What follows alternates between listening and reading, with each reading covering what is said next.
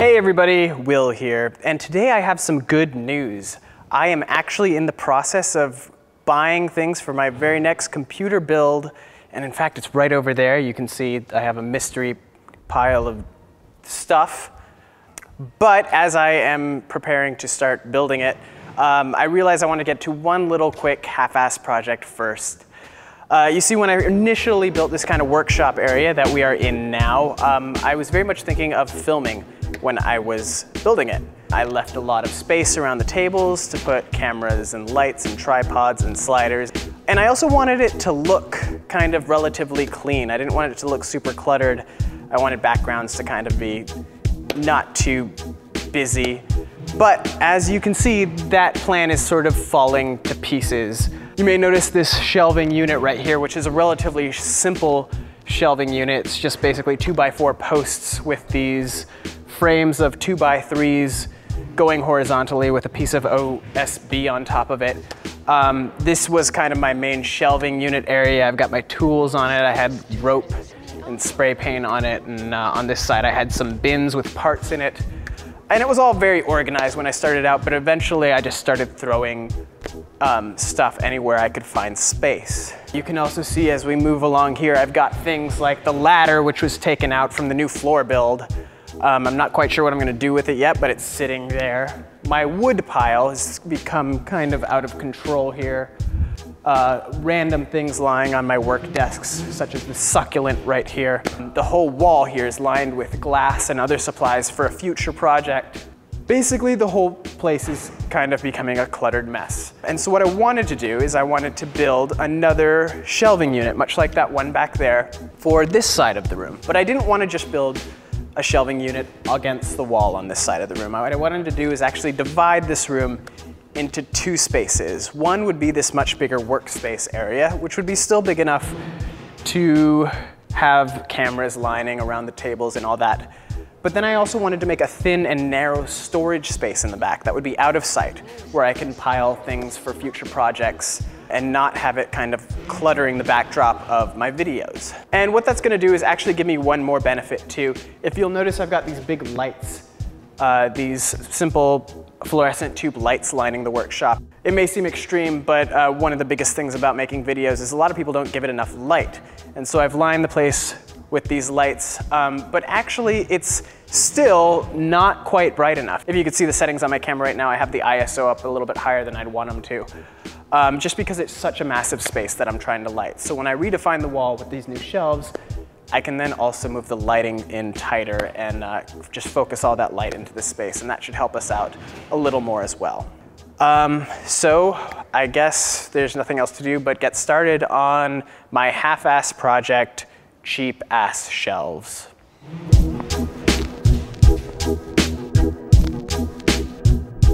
First, I recruited my girlfriend to help me move all the really heavy things out of the way into one side of the room.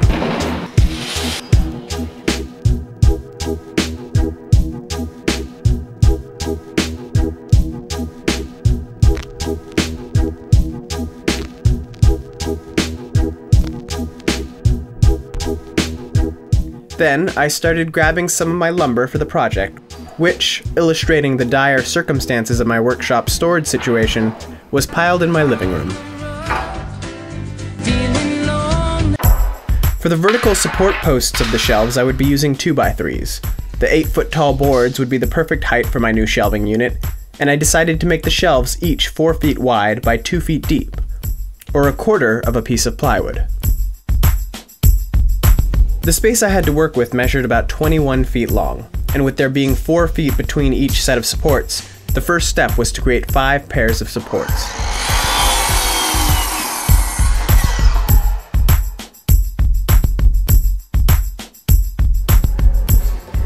The supports would be boxed in at either end, to allow it to be secured to the floor and boards that would run across the top of the structure.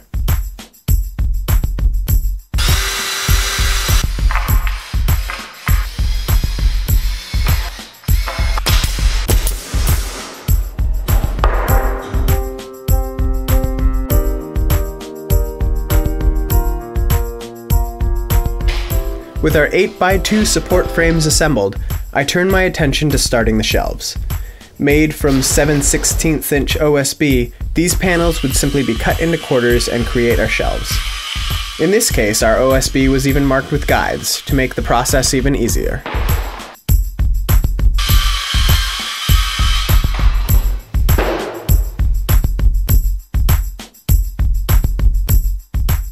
Unlike my other shelving unit, I wanted this system to be adjustable. Instead of bolting everything together, I wanted the shelves to float between the support posts. Small brackets running down the length of the support frames would be able to support the shelves and give me multiple mounting options for storing larger or bulkier items that might otherwise not fit. To do this, I would brace the 2x3 frames with a number of 2x4 shelf supports. The wider 2x4s would stick out a fraction of an inch beyond either side of the support providing a surface for the edge of the shelf to rest on.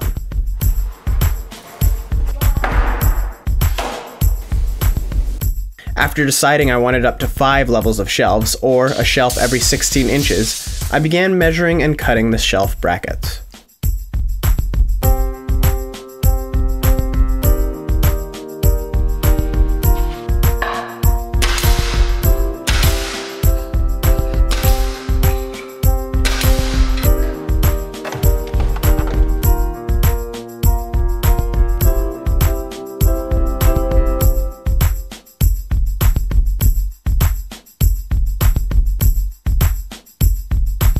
With the supports complete, I cleared the surrounding area to prepare and install them. I also moved my old supply rack into its new spot behind the structure, leaving enough room for a small walkway in between. Rather than being secured to the floor, the first support frame is secured to the wall.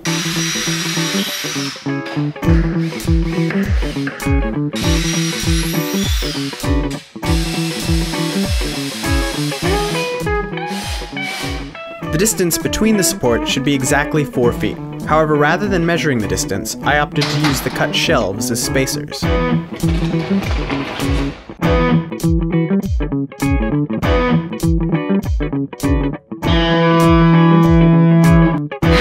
Then, I secured the remaining supports to the floor with concrete screws, and 2x3s and 1x2s are run along the top. '"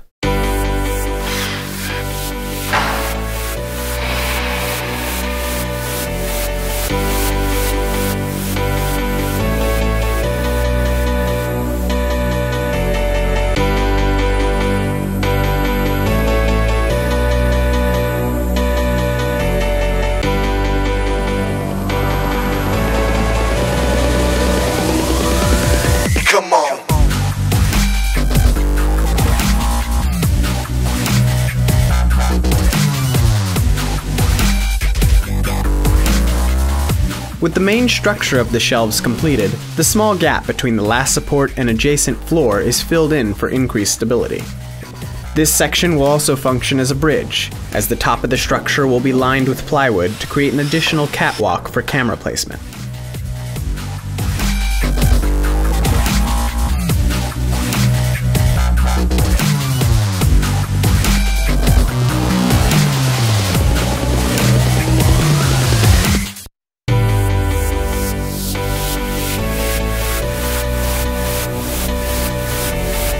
7 16 inch OSB is then cut to fill in the floor.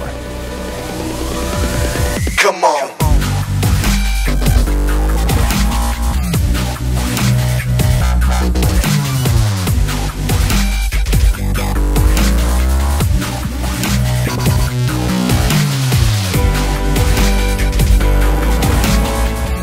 With the sports complete, the final step is to reinforce the shelves.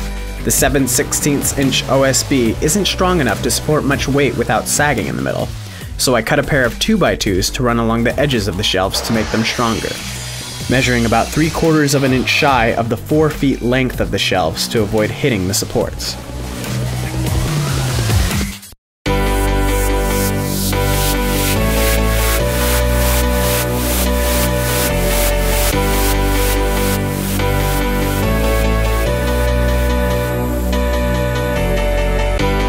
I ended up putting together only 13 shelves of the 20 possible mounting locations. However, this was more than enough to create a configuration that would work for me.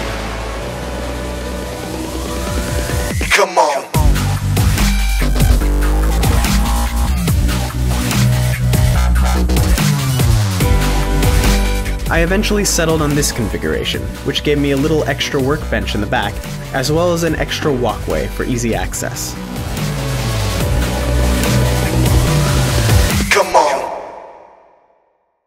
But before putting the final touches on the shelving unit, I decided to put together a simple lumber rack to go behind it against the back wall. This would include a number of supports made from 2x3 beams secured to the wall. The bottom 4 feet would be left clear for storing plywood segments against the wall, and the top section would be reinforced with a second piece of 2x3, and then bored out to fit a number of 1 inch EMT tubing segments that can then be used to hang longer sections of lumber. After finding studs and cutting the 2x3s to height, the second 2x3 is cut and glued to the top of the first beam.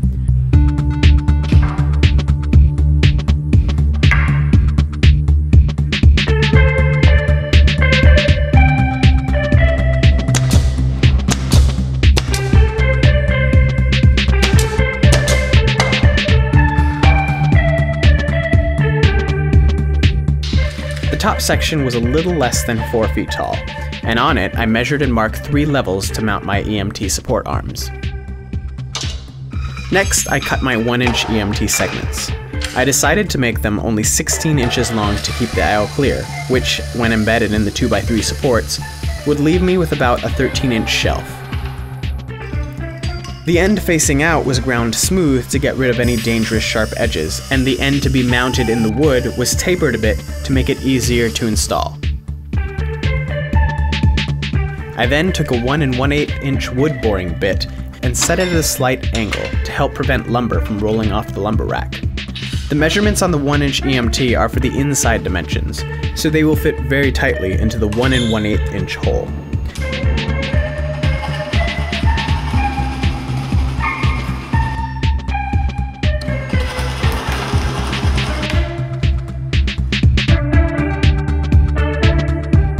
I used a metal hammer to force the segments into the wood, and then bolted the assembly into the studs running down the wall.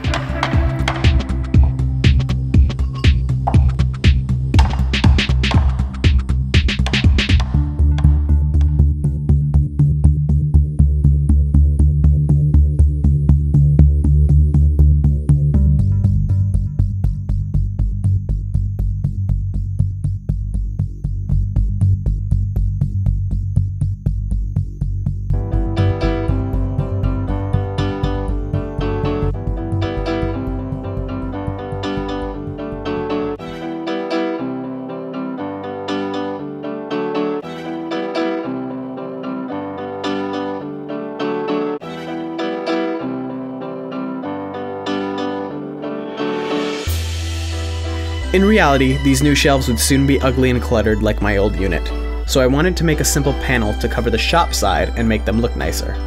I decided to use the same material I used to separate my living room, a feature that has come to be referred to as the Dexter wall, which is made from 6mm thick plastic sheeting. Using 1x2 furring strips, I first made a 4x8 frame,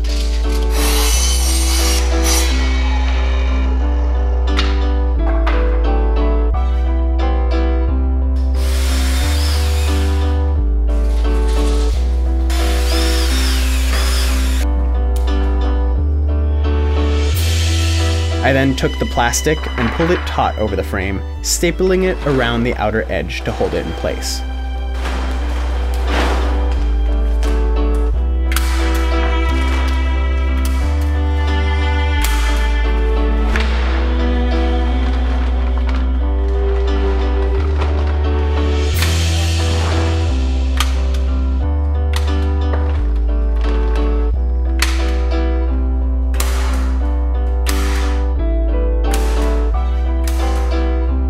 More furring strips are used to wrap around the outside of the frame, sandwiching the plastic between the two layers.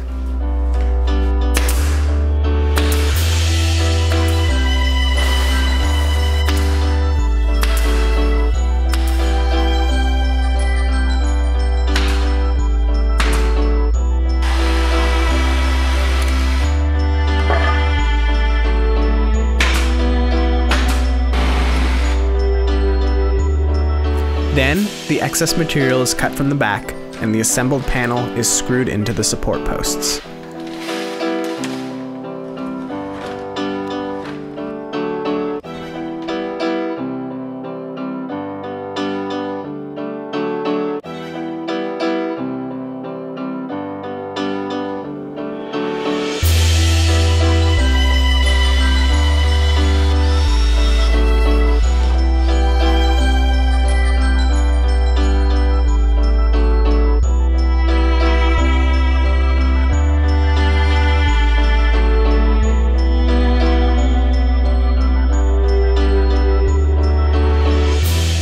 And lastly, brackets are cut and mounted on the top of the support post before 1x4 boards are run across the top of the structure to remount the lights.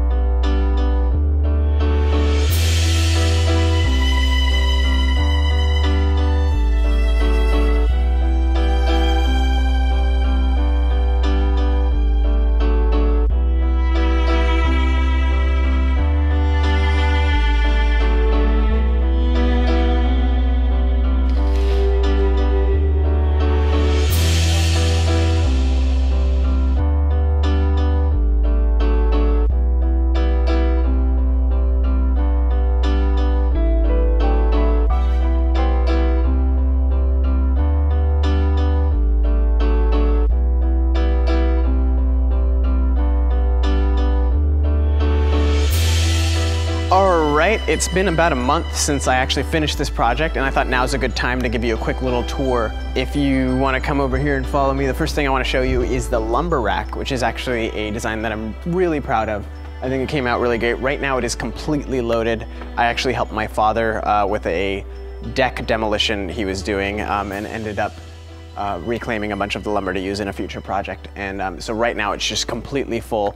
And I'd have to say the one thing I think I would change about um, this lumber rack that I did. Again, it was really simple and easy to make and it seems like it could hold a lot more weight is one thing I would have done is had it stick out a little bit more to hold more lumber. Um, again, one of the reasons I wanted to, it's a, it's a narrow corridor right here and I didn't want to kind of be stuck, but there's definitely room to stick out um, probably even a half a foot more. And actually on these upper levels, I'll probably cut extensions later so they can hold a couple more layers of lumber. But that's the lumber rack. And again, on the bottom here, I have uh, larger sheets of plywood. Again, some full four by eight sheets right here. And one really cool thing is with the two by three it kind of spaces them off a wall a little bit, which makes them really easy to grab. So that was another cool thing about this design. And, uh, and then here we have uh, stuff for my next case mod hiding over here, as well as the engine, which um, yes, I will show you how I got it down here later. Uh, but for now, until it goes back in the car, it's just being stored there um, in kind of the extra storage space that I have. And then if we move kind of down here into the shelving corridor area, you can see how I'm using the shelves. Again, this area right here, I turned out to be really nice to kind of create little extra desk space. I have a chair that tucks underneath it here just to work on um, some projects that I don't want to film, that I don't want to disrupt my filming area to do really quick, which I've had to do.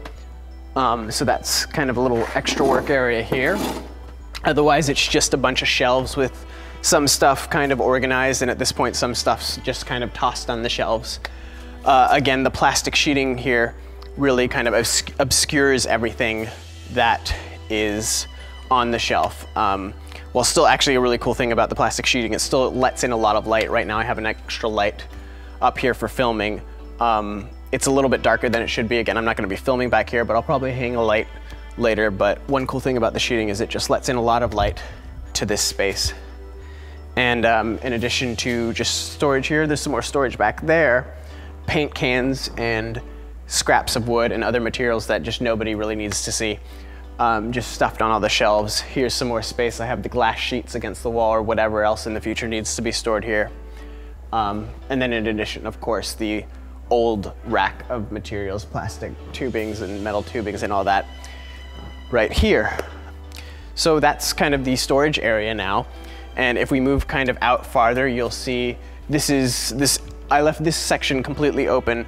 Right now, everything's okay and it's really open, but I'm sure eventually there's gonna be boxes that are stuffed really quickly in, in the aisle here, as well as I'll probably put my bicycle back here. And this just gives me another passage to get to the materials I have to get to easily in addition to that. And I'm not super pressed for space. I have more than enough storage space right now.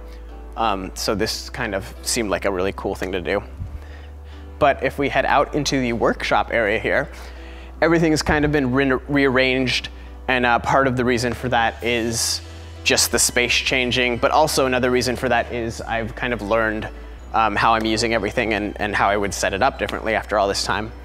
Uh, one of the things is I want these tools right here, the table saw and the miter saw, I ended up using a lot more than I thought I would, so I just wanted to keep them open on a table there's my old kind of metalworking area bench. And then here is the main desk I'll probably be working on uh, the main projects on and talking to you guys about stuff on. So that's kind of the work tables.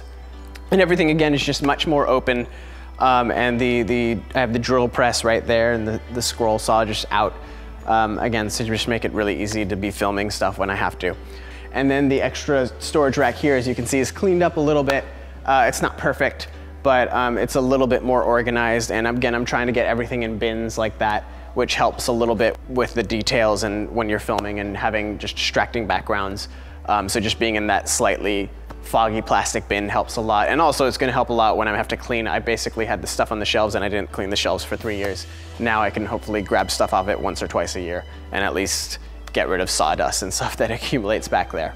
But that's it, that's, uh, that's the end of this workshop storage redesign video.